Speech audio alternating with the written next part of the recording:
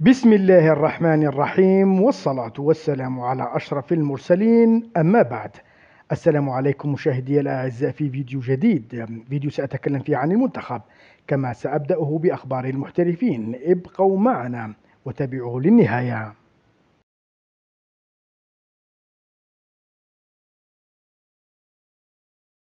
نبدأ عدد اليوم ببعض أخبار المحترفين وستكون مختصرة كالعادة. والبداية في أخبار المحترفين ستكون بياسر العروسي والذي صار دوليا جزائريا. العروسي لمن لا يعلم هو مصاب حاليا بعد خروجه في لقاء الجولة الماضية. تقارير إنجليزية كشفت أن إصابة ياسر ليست خطيرة. الجزائري وبنسبة كبيرة جدا سيكون حاضرا في لقاء الاستئناف بعد نهاية فترة التوقف الدولي. لكن حتى لو لم يتح له ذلك فإننا قد نراه في اللقاء الذي سيليه. وهو ما سيعني أنه سيكون متاحا لاستدعائه في التربص المقبل. على العموم رأيي في العروسي سيكون في نهاية الفيديو. مع الإصابات دائما تقارير إيطالية كشفت اليوم أن إصابة الدولي الجزائري حسام عوار تتعافى بشكل تدريجي. حسام ولغاية اليوم لم يعد للتدريبات بل خاض فقط حصة في قاعة تقوية العضلات مع المحضر البدني. لكن في مقابل ذلك المصدر نفسه كشف أن مورينيو ينتظر عودة عوار مع بداية الأسبوع المقبل ما يعني أنه ربما يكون حاضرا في تدريبات روما بداية من يوم الاثنين المقبل حصة الاستئناف وهو أمر سيعني بكل تأكيد. تواجده في أول لقاء بعد فترة التوقف الدولي. ننتظر ونرى. قدم نادي بريشيا الإيطالي الناشط في الدرجة الثانية سيري بي لاعبه الجزائري الجديد محمد سليم فارس. فارس وكما تشاهدون سيحمل القميص رقم 6 وسيحاول العودة لسابق عهده مع التألق من بوابة ناديه الجديد خاصة آه، المستوى الذي قدمه قبل الإصابة الأولى قبل ثلاث سنوات ولما لا نرى في المنتخب مرة أخرى. فارس وفي الندوة الصحفية أثناء تقديمه وعند حديثه عن أهدافه الجديدة قال بوضوح أنه يستهدف العودة للمنتخب الوطني. محمد سليم فارس قال أنه كان دائم التواجد مع الخضر قبل إصابته الأولى كما قال أنه يرغب وبشدة في التواجد في التحدي الأكبر وهو كأس إفريقيا بعد أربعة أشهر.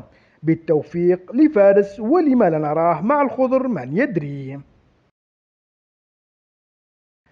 أدلى الدولي الجزائري ولاعب نادي ليل الجديد نبيل بن طالب بتصريحات من نوعية الأسئلة السريعة. بن طالب عبر عن سعادته الكبيرة بالعودة كما تكلم عن طقوسه قبل المباريات وما يحب أثناء اللعب وطبقه المفضل وأشياء كثيرة من هذا النوع.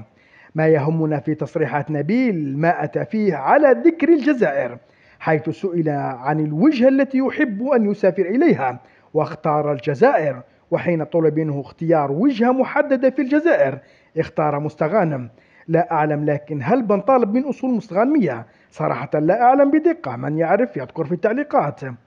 بن طالب سئل أيضا عن اللاعبين الذين يعرفهم في ليل. وهنا اختار ثلاث لاعبين. حكيم ويقصد حكيم زداد آدم ويقصد آدم الناس. وهشام ويقصد هشام فرح. وكلهم جزائريون. بن طالب يمشي فقط مع أولاد بلاده على ما يبدو. في الأخير سئل بن طالب عن أهم ذكرى في مشواره واختار التأهل لكأس العالم بالرغم من أنه لم يشارك في التأهل لكأس العالم 2014 بن طالب يقصد المشاركة في كأس العالم وليس التأهل له بكل تأكيد. قبل الانتقال للحديث عن المنتخب لا ضير أن نعرج على أخبار المنتخب الخصم المنتخب السنغالي. وأهم خبر على الإطلاق هي الإصابة التي تعرض لها نجم الهجوم ولاعب سلارنيتانا بولايديا تقارير سينيغالية كشفت اليوم أن بولايديا لن يكون قادرا ربما على المشاركة ضد الجزائر وربما يكون قد غادر التربص أصلا بشكل كامل. الخبر سيكون رائع جدا للكتيبة الجزائرية خاصة مع حالة الضعف التي نعانيها ولو أنه يبقى الحذر واجب لأن السنغال تضم كتيبة رهيبة من المهاجمين والكثيرون قادرون على تعويض بوليديا. لم أشأ وضع عدد يوم أمس أولا لضيق الوقت وثانيا لأنني كنت أعلم أن ردة الفعل ربما ستكون عنيفة سواء ضد بالماضي وبعض اللاعبين أو ضد من سينتقد بالماضي وبعض اللاعبين. كما أن الفوضى كانت كبيرة في اليوتيوب وفي مختلف مواقع التواصل الاجتماعي. تحليلا وتمحيصا. في أداء الخضر لذلك قررت ترك العدد لليوم لأن التفكير يكون منطقي أكثر. قد أفاجئكم إذا قلت لكم أن المستوى لم يكن سيئا كثيرا خاصة في الشوط الثاني. صناعة اللعب في الشوط الأول كانت ضعيفة ولم نخلق سوى فرصتين والأسوأ أن الخضر لم يضعوا أي كرة مؤطرة وهو وهي كارثة. ولا أحد سيختلف خاصة أننا واجهنا منتخب ضعيف. لكن في مقابل ذلك في الشوط الثاني قدمنا مستوى أكثر من ممتاز. سيطرة على الوسط لكن المشكلة كانت في الإنهاء فقط. صناعة اللعب ممتازة توزيع الكرة كان ممتاز. الضغط كان رائع كل شيء كان مثالي لكن المشكلة فقط كانت في الإنهاء. صحيح أنها مشكلة كبيرة لكن ذلك لا يغطي على الإيجابيات. بحسب رأيي بالماضي بين الشوطين وجد الحلول للأخطاء التي ارتكبها في الشوط الأول لكنه عاد وكسر كل حلوله حين قام بتغيير بعض اللاعبين في عز تألقهم. قد يقول البعض أن الأمر غير مهم والتجريب أهم لكن ما الداعي لسحب لاعب مثل بوعناني يحتاج للمشاركة وهو متألق وتمنح الفرصة للاعب شبعان مشاركات مثل محرز. قادري وعبد الله نفس الشيء أعتقد أن بالماضي أخطأ في هذا الجزء. وعلى عكس السابق أيضا سأبدأ باختيار أحسن ثلاث لاعبين وأسوأ ثلاث لاعبين وأبدأ بالأسوأ. سأختار ثلاث لاعبين لكن هذا لا يعني أنهم كانوا كارثيين لأنني كما قلت في المقدمة المستوى في الشوط الثاني كان ممتاز. وسأختار على الشوط الأول بصورة أكبر. والبداية بأيمن محيوص. محيوص للأسف كان سيء في التمركز ولا يتحرك بتاتا لا داخل المنطقة ولا خارجها. فرصة إشراكه أساسيا كانت ذهبية وكان عليه استغلالها خاصة أننا نلعب على أرضنا وأمام جماهيرنا وضد منتخب متواضع لكنه لم يستغلها. على العموم أتوقع أن يشارك ضد السنغال أيضا نظرا لعدم جاهزية بونجاح. ثاني أسوأ لاعب سأضع لاعبين وهما زورغان وجايتون هذا الثنائي كان سيء في الشوط الأول لا تمرير صحيح لا ضغط لا مساندة هجومية. ولو أن زورغان كان أقوى من هذا الجانب قليلا من جايتون في الشوط الثاني تحسن مستواهما خاصة زورغان الذي تحول في بعض ردهات اللقاء للاعب ممتاز آه، مختلف تماما حتى أنه تفوق على قادري كثيرا في بعض الردهات. لكن كما قلت مستواه في الشوط الأول ساعد على وضعه ضمن الأسوأ. ثالث أسوأ لاعب هو حماة عبد الله لا أعتقد أن هناك من سيختلف معي أيضا. عبد الله قدم الشوط أول كارثي. كان مخ... مختف تماما. في المرات التي ظهر فيها ظهر فقط ليضيع الكرات. في الشوط الثاني ومع تقدمه للأمام قليلا تحسن مستواه. لكن ما يعاب عليه الإنهاء. أتيحت له ثلاث فرص ليسجل ويكون نجم اللقاء لكنه لم يفعل للأسف. سوء مستواه في الشوط الأول وسوء إنهائه في الشوط الثاني. جعلني أختاره ضمن الأسوأ. بخصوص الأحسن لا أعتقد أنه سيكون هناك اختلاف كبير. قادري يمكن وضعه ثالث أحسن لاعب من جانب المنتخب. لديه قدرة رهيبة على الاحتفاظ بالكرة وبناء اللعب. مشكلته ضد تنزانيا عدم خلق الفرص. في هذا يمكن أن يكون المذنب هو الخط الأمامي لكن لاعب يجي منه أتمنى منحه فرص أكثر مستقبلا. ثاني أحسن لاعب بحسب وجهة نظري هو لاعب نيس بدر الدين بوعناني. رغم أن المجموعة التي كانت معه لا تساعد إلا أنه كان ممتاز في الاختراق. فنيا لاعب ممتاز كما أنه صنع الكثير من الفرص التي لم تستغل للأسف. خروجه كما قلت سابقا نقطة سوداء لو تركه بالماضي كان أحسن له وللمنتخب. أحسن لاعب بالنسبة لي كان ريان أيت نوري. أعرف أن الكل يريد رؤيته من الجانب الدفاعي وهو أمر سنراه عفوا ضد المنتخب السنغالي إن شاء الله لكنه لاعب أثبت أنه ممتاز في الاختراق. فنيا أيضا ممتاز رغم أنه مدافع. لديه حلول رائعة.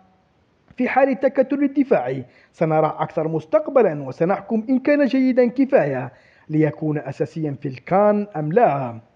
لاعبين آخرين مثل شيبي شخصيا لم يعجبني. لا أعلم ماذا ستقولون بخصوصه لكن مستواه كان متوسط لأبعد الحدود. لم يشارك في مركزه الأصلي بالمناسبة وهو ما أدى ربما لعدم ظهوره بوجه طيب. توغاي وماندي لم يختبرا كثيرا خاصة في الشوط الثاني. كانوا في راحة تامة. لا يمكن أن نقول أنهم كانوا ممتازين أو سيئين. المدافعين أو المدافعون على العموم يختبرون حين يكون فريقهم تحت الضغط. لهذا سننتظر لغاية لقاء السنغال. وقتها أنا متأكد أنه سيكون هناك مدافع إما ضمن الأحسن على الإطلاق. في حال قدمنا مستوى كبير أو الأسوأ على الإطلاق في حال العكس. حارس المرمى أنطوني موندريا نقول عنه ما نقول عن ماندي وتوغاي. لم يختبر كثيرا. ممكن أن, أن هناك فرصة واحدة. من تسديدة قوية كانت على مرماه. غير ذلك لم يختبر. ملاحظة فقط. لا أعلم إن كنتم لاحظتموها وتتفقون معي أم لا. موندريا سيء جدا في الخروج في الركنيات والمخالفات. آه لا أعلم لكنني لاحظت ذلك. بخصوص البدلاء لم أرى أي تأثير إيجابي للاعبين مثل محرز وبالرحمة وعمورة وبوداوي. على النقيض من ذلك رأيت أن المنتخب توقف تماما عن بناء اللعب والضغط العالي منذ بداية التغييرات. لا يمكن أن نلوم لاعب ما على وقت قليل لعبه لكن في مقابل ذلك لا يمكن أن نقول أنهم صنعوا الفارق. لاعبين مثل بوداوي وبالرحمة دخولهم أصلا كان سلبي. بحسب وجهة نظري. حتى محرز وبوعناني كان حتى محرز بوعناني كان أنشط منه. أختم هذه الجزئية بالقول أن انتقادهم فيه نوع من الظلم لكن لا يمكن أبدا الثناء عليهم. قبل أن ننهي العدد نتطرق لبعض النقاط في تصريحات بالماضي. الأكيد أنكم سمعتم كلكم تصريحات والتعليقات لذلك لن نعود إليها بل سنتطرق فقط لنقطتين مهمتين. الأولى هي ياسر العروسي لاعب شيفيلد يونايتد وبحسب تصريحات بالماضي صار متاحا ويمكن أن يكون في أي تربص مستقبلا مع الخضر. بحسب رأيي العروسي لغاية الآن لا يوجد له أي مكان مع المنتخب. أيت نوري وبن سبعيني سيشغلان هذا المركز وهما أحسن منه بكثير. حتى توبا يمكنه اللعب في هذا المركز. هناك أيضا حجام. حجام ورغم أنه لا يلعب في نانت ورغم أنه لم يقدم لغاية الآن المستوى الكبير مع المنتخب إلا أنني متيقن أنه سينفجر. هو لاعب ممتاز جدا جدا وأعرفه منذ كان في باري إف سي. النقطة الثانية التي تحدث بالماضي عنها وأردت تسليط الضوء عليها وهي إمكانية عودة عدلان قد يرى بالماضي سئل عن الأمر وهنا قال أنه لا يمكن أن يحكم على عودة لاعب من الآن. يجب عليه أن يشارك مع فريقه وبعدها لكل حديث حديث. يعني فتح أمامه باب العودة لكن بشروط. الشروط يبدو أنها ستتحقق. قد يورا تعاقد رسميا مع شباب الوزداد اليوم وبدون شك سيشارك وسيكون أساسي. فهل تعتقدون أنه سيعود حقا للخضر؟ اتركوا لي آراءكم في التعليقات لمن وصل لغاية هذه الدقيقة من الفيديو. طبعا في نهاية الفيديو وهم فقط المشاهدون الأوفياء جدا. إلى هنا يكون عددنا لنهار اليوم. قد انتهى. نلتقي غدا إن شاء الله. السلام عليكم.